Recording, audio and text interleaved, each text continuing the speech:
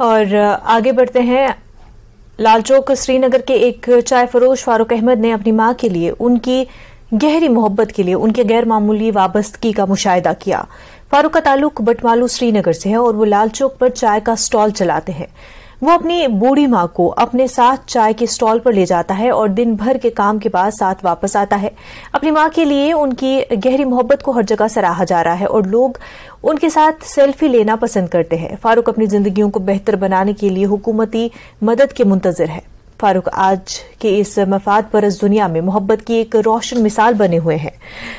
आजकल के दौर में बच्चे अक्सर अपने बूढ़े वालदेन को अकेला छोड़कर आगे बढ़ते हैं लेकिन अपनी माँ के लिए इनकी मोहब्बत बहुत काबिल तारीफ़ है और उनके और इन उन नाफरमान बच्चों के लिए एक सबक है जो अपनी माँ बाप को अकेला छोड़ देते हैं।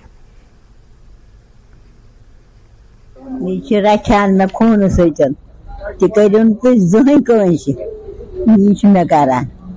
रखियान छलन छकन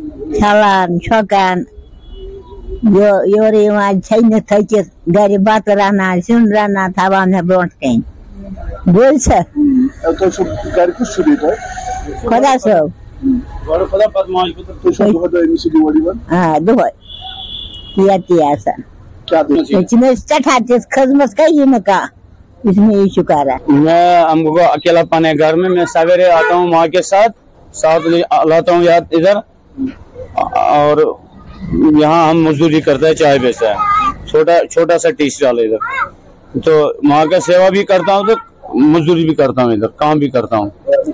घर में कोई नहीं है? रोज लाता हूँ साथ। पाँच बजे फिर छह बजे फिर बंद करते हैं जाता है घर। फिर घर में अपना वहाँ पकाना होता है।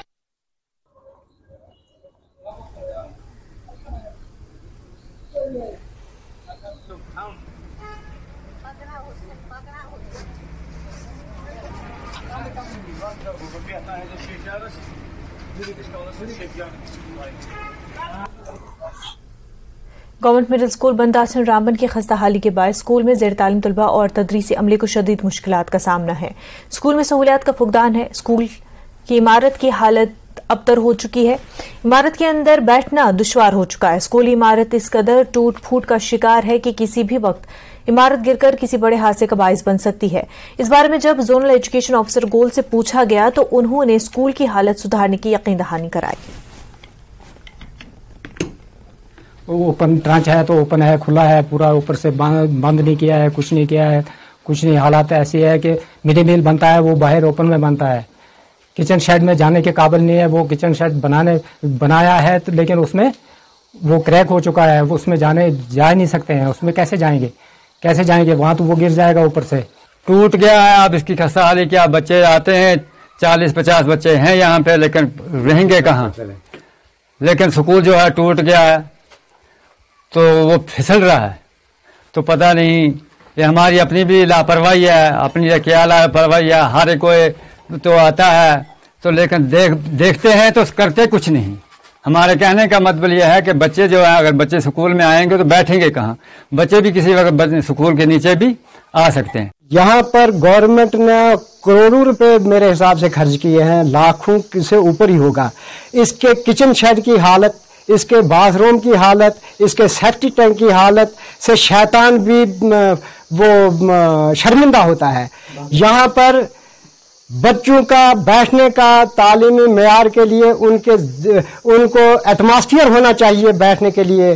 वहाँ उनको तालीम हासिल करनी है। यहाँ इस हालत में ये तो ये ये तो बद, से बदतरीन यहाँ की ये उठने बैठने का सिस्टम है। जी यूपीएस बंदासिन में जो स्कूल बिल्डिंग है वो क्रैक हुई थी। असल में वो पहाड़ी इलाके हैं यूपीएस बंदासिन हुआ डेडा साइड हुआ, ये सिंकिंग एरिया है।